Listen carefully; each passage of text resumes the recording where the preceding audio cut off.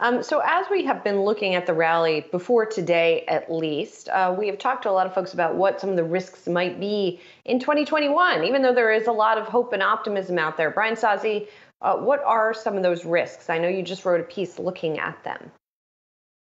Yeah, funny you mention risks, Julie, because yes, I just uh, had a piece now hit on the homepage, Yahoo Finance homepage about that. Three risks, uh, primarily cooked up by uh, Goldman Sachs strategist David Kostin, and they all make sense to me. Chief risks uh, out there for your portfolio uh, vaccine hiccups. We have started to see this uh, out of the gate. It should be expected, most notably with Pfizer, some hiccups in getting the vaccines to the places where they need to be going. so that is a risk. Certainly, I think, guys, that this market has not even thought about it continues to trade around record highs, uh, notwithstanding today. Uh, next risk, and, and Miles, this one, uh, I'm sure you'll dig this one rising uh, concern around inflation. And where there is inflation, maybe the Fed uh, thinks, thinks about raising rates quicker than the market expects. We're not there yet, definitely no inflation in sight. But given all the stimulus we have seen, and, and as the vaccine starts to uh, roll out there to people around the globe, maybe business spending picks up more, consumer spending picks up more, and we do start to see inflation that the Fed would have to stomp out. And last but not least, guys, here is the January 5th Senate election uh, runoff here uh, in Georgia. If if the Democrats do in fact win, there goes that divided government uh, thesis that a lot of investors have been trading on since election day. And you have more Democratic control, maybe you have more regulations. I'm not saying these things happen, but these are the risk factors investors need to start thinking about entering 2021. Why? Because they're definitely not thinking about them right now.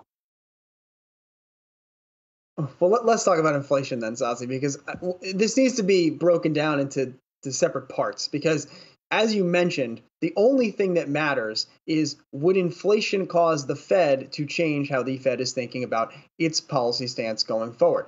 I don't think anybody doubts that there is going to be price inflation for certain things.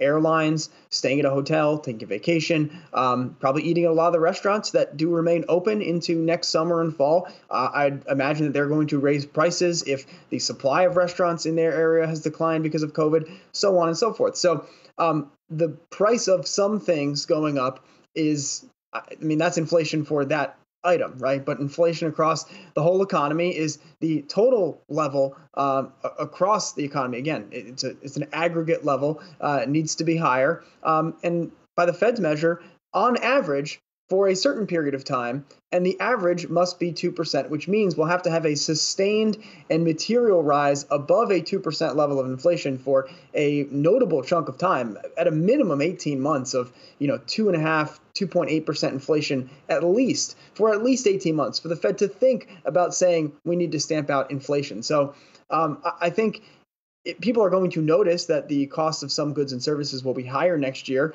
um, but you know, as you noted, Brian, the, the only thing that matters is would that inflation cause the Fed to look at it and say we are changing our view? And I think on that count, and Jay Powell essentially said as much last week, there's basically no chance that the Fed would view a temporary rise in inflation next year um, as a reason to rewrite or, or you know reconsider its policy you know outlook, which has projected several years of interest rates remaining at low, uh, at zero, at least you know on the front end uh, of the curve set by the Fed Fed Fed funds policy rate. So. Um, you knew that was like bait for me. I mean, I know you put that in there just to get me I, to say this, but uh, here we absolutely. are. Absolutely. And, and Miles, what you mean to tell me the Fed doesn't want to stomp out the, the potential for the twenty-five dollar Chipotle burrito bowl? Of course it does, and maybe they do it next year. I don't know. Nope, not happening. I'm with Miles on this one.